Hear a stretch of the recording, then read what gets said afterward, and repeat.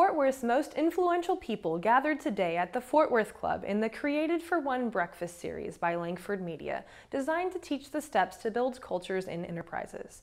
The reason Fort Worth's power players were frantically taking notes during the second breakfast is that analysts discovered specific cultural themes shared by every mega success enterprise.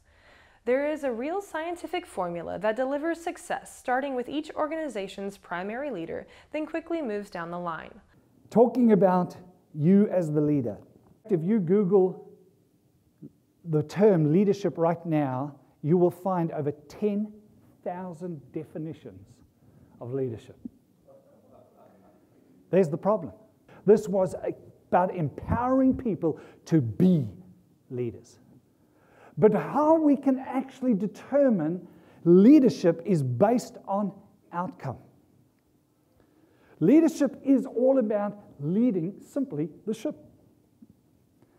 You are taking all those on board to a destination.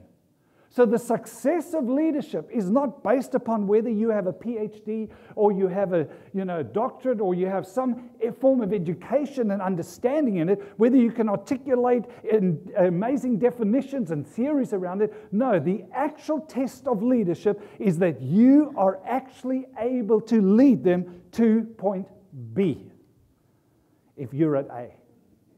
Oddly enough, the Fort Worth Chamber of Commerce board met a few banquet rooms over, and both meetings were filled with key Fort Worth influencers, creating a powerful, attractive business and family community to bring Fort Worth into the new decade as one of the world's next mega cities.